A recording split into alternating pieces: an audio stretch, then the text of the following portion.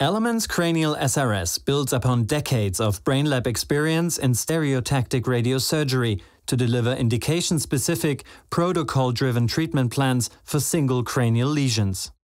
Cranial SRS planning includes automatic organ at risk detection as well as intuitive, automatic treatment plan creation. Elements Cranial SRS relies on predefined clinical and setup protocols to produce treatment plans. These plans are based on volumetric modulated arc technology, varying both leaf positions and control point weights to achieve the treatment planner's dosimetric goals. These various planning protocols can be implemented according to individual clinical requirements.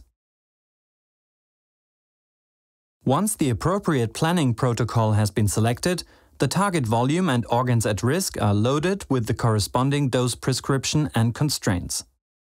Objectives and constraints are automatically set and prioritized by the application.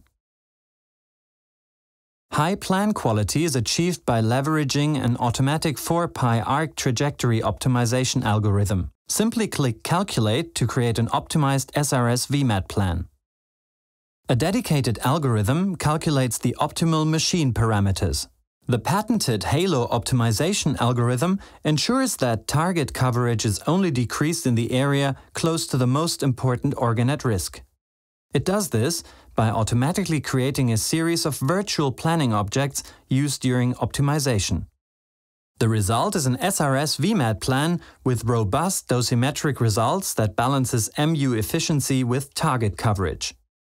Sliders allow the planner to balance target coverage and critical organ sparing as well as further optimize the dose gradient, conformity index, and treatment efficiency. Plan results and dose distributions can be viewed simultaneously across multiple image sets.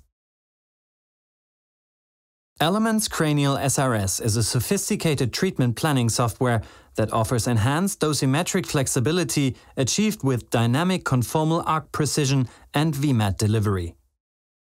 Combined with BrainLab ExacTrac, providing intrafraction positioning and monitoring at any couch position, higher doses with smaller margins can be applied.